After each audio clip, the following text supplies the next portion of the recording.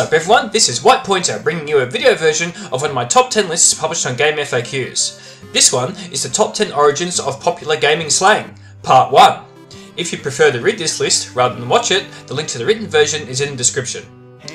Just about everyone who plays video games uses terms like noob, scrub, cheese, and of course owned, and most players would know what those words actually mean. But did you know where they actually originated from?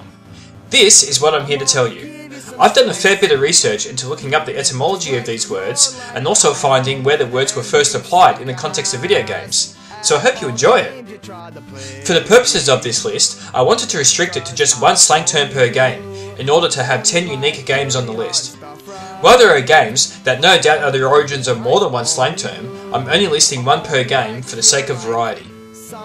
Gamers really do have their own language, and every game has its own jargon that wouldn't make sense to anyone that doesn't play or follow that game.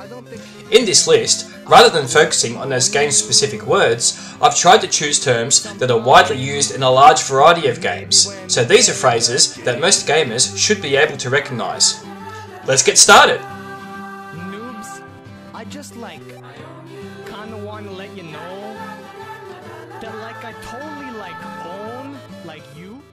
Hi ho, the dairy, the cheese stands alone. I covered this one in my previous list of the top 10 underappreciated fighting game pioneers, but I'll cover it again here. The term cheese is usually used in the context of video games to describe a possibly overpowered or absurdly strong strategy that is designed to win the game unless your opponent sees it and responds in exactly the right fashion. Usage of the term can be traced back to a 1994 fighting game called Primal Rage that featured stop motion dinosaurs and giant apes battling for domination of the planet. In this game, if you spammed certain moves or combos repeatedly, the game would decide that it had quite enough of that and would prevent you from doing so for a few seconds. During this time, a block of cheese with a line through it would display at the top of the screen, meaning no cheese. Why the developers chose to go with a block of cheese? I guess we'll never know, but was one of quite a number of odd quirks the game contained. That's what they decided to go with though, and the rest, as they say, is history. So the next time you accuse someone of being cheesy, or you decide to use a bit of cheese yourself, think back to Primal Rage that started the trend.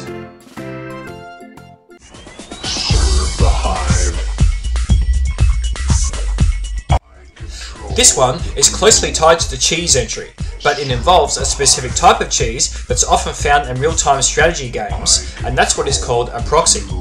When a player builds a structure not in their own base, but in a position somewhere else on a map, with the intention of using that structure to unleash an attack that is more difficult to scout, or at a much faster timing, it's known as a proxy. The term started being coined by players and became popular in the original StarCraft, although the concept itself wasn't new. Contrary to what some may believe, proxy is not a shortened form of proximity. This belief came about because the structure is often built within close proximity to an opponent's base.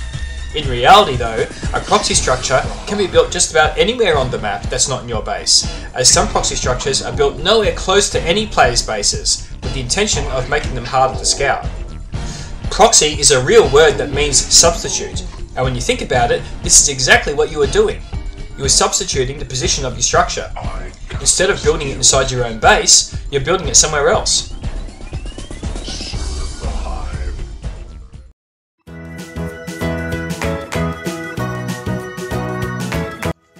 The terms jank and gank sound like they are the names of twins from a bad 90s Saturday morning cartoon, but they are both words used to describe pretty similar things in the context of video games, so they are listed here together. Basically, they are both used to describe the player being defeated in a manner that may be unfair or out of their control, but they differ in the situation.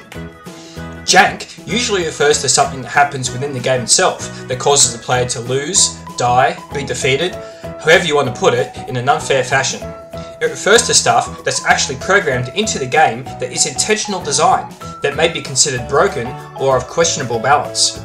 I got janked by that stage! Or, that combo is so jank! A good example of this, and the possible origin of the term, in video games anyway, is Super Smash Bros. This fighting game featured stages that could spontaneously spawn hazards that could KO the player, or randomly drop powerful items that could do the same thing. A trait the series has continued to this day. There's a reason competitive Smash disables items and restricts play to certain stages. Outside of the context of video games, jank normally means something redundant, worthless, stupid, or of bad quality. Gank, on the other hand, usually refers to something that other players do that causes the unfair situation to happen. Most commonly, it's used to describe a practice in MMORPGs where a group of players gang up to overwhelm and destroy a lower level player, or players, who can't defend themselves and are probably minding their own business. I got ganked by a bunch of... Or, let's go and gank those guys. This kind of thing was happening in games like EverQuest and Ultima Online long before World of Warcraft was a thing. Gank is a word that came about as an abbreviation of gang kill. Leeroy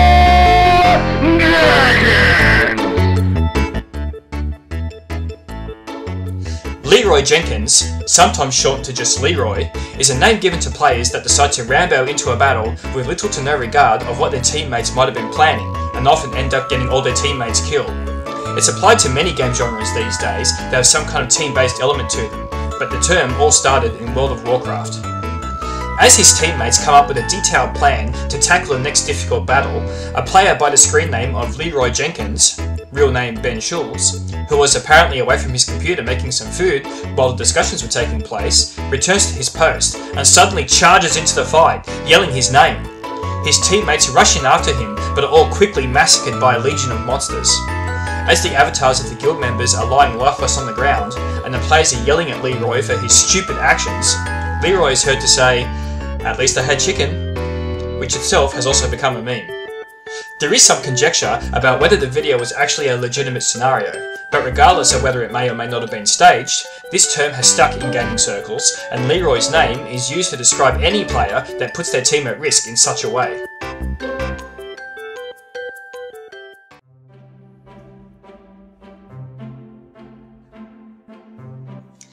Yeah, we're gonna need to go here. If you've ever played an online shooter since around the turn of the century, you'll no doubt know what teabagging is. But in case you don't, teabagging is the act of quickly crouching down and standing up a number of times over the top of an opponent you have just killed. Technically speaking, it's meant to simulate the act of rubbing your genitals on the face of their defeated and lifeless corpse as a way of taunting them. Charming, huh? Believe it or not, this is something that also happens in real life, although it usually has a more let's say, adult connotation to it. In video games, the practice was originally known as corpse humping, but is now more widely known as teabagging. So where did this all start? Again, this one is pretty difficult to pin down. While it no doubt existed beforehand, it seems Halo was the game that was mostly the culprit for making it popular. Up until Halo, the genre of first-person shooters was mostly restricted to PC gamers that tended to be an older demographic. But Halo was launched on the Xbox, and suddenly a whole generation of younger console gamers were exposed to the humble first person shooter. That, combined with the game's online mode, where suddenly you could be an anonymous jerk on the other side of the world, as well as the Red vs. Blue web series, seemed to be an unfortunate perfect petri dish for teabagging to be born. Bungie, the game's original developer, who calls it celebratory crouching, and 343 Industries, that have taken over development duties of the franchise, seem to encourage the behaviour by showing a close up of your corpse for a few seconds before you respawn, so you had the pleasure of seeing someone teabag you. These days, you'll run into teabaggers in virtually every online FPS under the sun.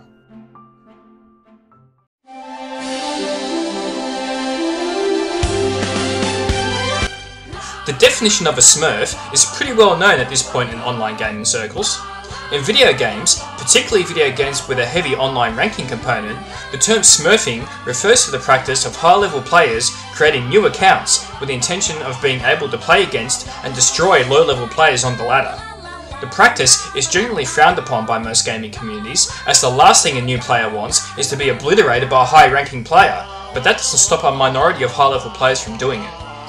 I guess almost everyone also knows the Smurfs were a popular kids cartoon show featuring little blue people. But how did the word get from a kids' TV show to video games? The exact beginnings of the usage of this term was somewhat difficult to track down, but most sources, notably reports from groups alt.games.starcraft and alt.games.warcraft, seem to agree it started during Warcraft 2, one of the earliest games to actually have an online ranking feature. It points to a couple of players in particular that went by the names of Shlonglor and Warp, who created new accounts named Papa Smurf and Smurfette respectively play against low ranking players. Shlonglor is quoted as saying, First, let me explain the Smurf thing. Warp and I enjoy making up names and playing people at War2. We make them think we really suck and then beat them up. Well, we have lots of fun playing as Smurfs. We talk in Smurf. We Smurf us some ass at War2. I guess that is totally childish, but sure is fun.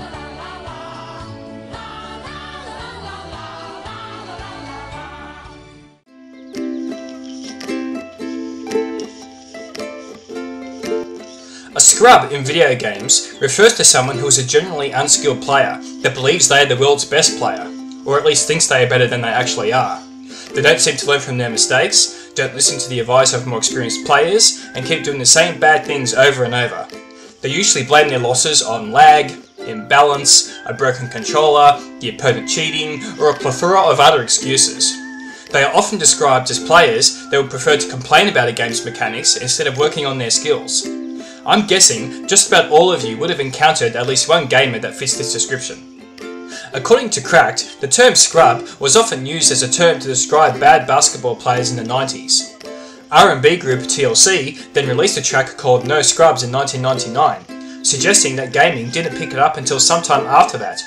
And of course, you had the popular TV sitcom in the 2000s about medical interns.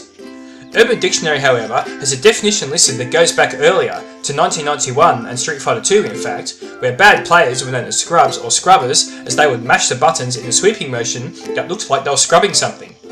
The term is most commonly applied to fighting games, so this does make some sense.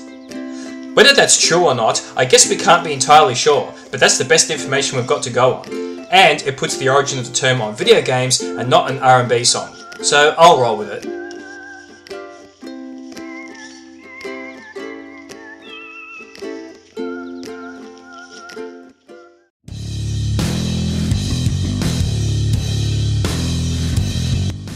In case you have been living under a rock your whole life, fragging is what the common slang term is in mostly online first person shooters for killing opponents in online deathmatch games.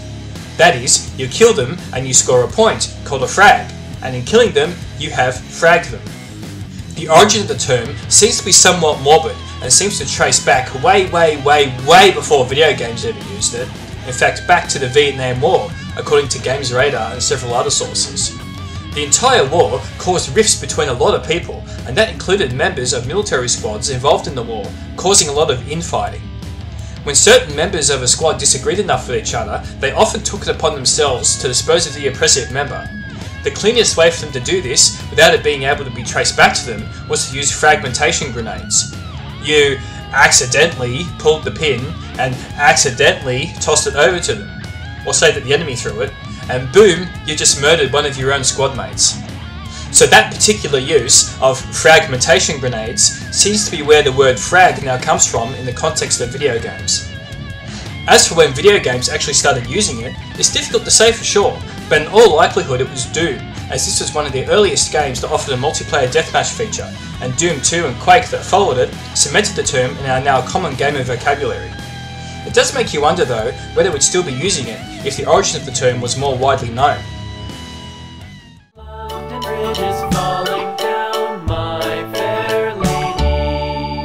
Everyone knows the term own, especially after the web series Pure Pwnage became so popular. Pwn obviously began as a typo. P is right next to O on the QWERTY keyboard, but it evolved into a deliberate misspelling of the word own, and is pronounced the same way, and is generally used in games to describe a dominating victory. You got owned, or I'll own you, or I got owned are all common uses. As the internet got more popular, it turned into a general meme that's used to describe many things, and it's somewhat lost some of its meaning. According to Wikipedia, the term seems to have originated through the 90s, as hackers would display the message on websites that they managed to hack. Or if they managed to gain root access into systems, they would say they owned the system now. The origins of the word may go back even further than that though, to a history that most of us are probably not proud of, to the time of slavery. People literally owned a slave. The slaves were their master's property, and their master exerted their authority over them. In other words, they dominated them so the word was used in a very similar way to when gamers picked it up. One of the earliest, perhaps the earliest examples of video games, however, points to the original Warcraft Orcs and Humans game. In this game, it seems a map designer made a typo, so when someone got killed, the game would report so and so has been owned with a P. But the untypoed form of the word was used in MechWarrior even earlier than this, where according to the Battletech lore that the game is based on, if you defeat an opponent, you then own them in the traditional sense. They are your slave and your property until they can regain their freedom. These days, the term owned isn't quite as widespread as it used to be, and seems to have been more commonly replaced by the term wrecked.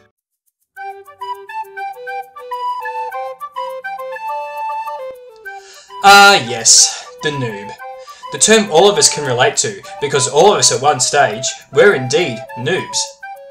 Noob, which can also be spelled a number of different ways, as the term is used in games, is obviously a derivative of noob, which itself is a derivative of newbie, meaning a new or otherwise inexperienced or unskilled player.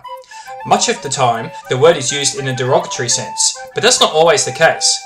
Of course, we see the term used not just in the context of video games, but just about everywhere on the internet, even online forums.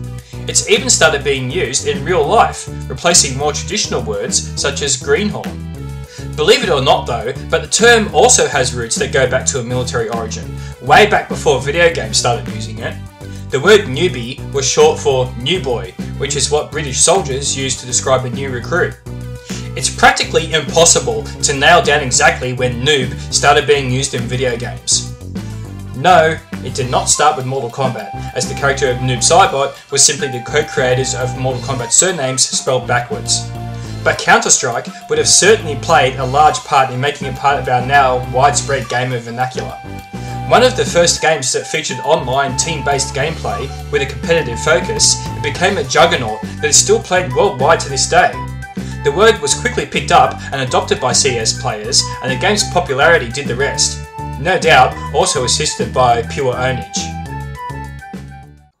So there it is, the top 10 origins of popular gaming slang, part 1. Hopefully, you found this list informative, and even if you didn't learn anything, you were at least entertained. As I always do, I put a disclaimer here to say that I know that I've missed your favourite gaming slang term somewhere, Ultimately though, I can only choose 10 items for this list, and based on my criteria of keeping one slang word per game, and also restricting the inclusion of game-specific jargon, this is the list I came up with. However, keep in mind that there is a part 2 of this list on the way, so hopefully I cover your favourite terms there. Please, by all means, let me know in the comments below what slang term I missed that you like the best, and give me a thumbs up if you liked the video. Thanks for watching!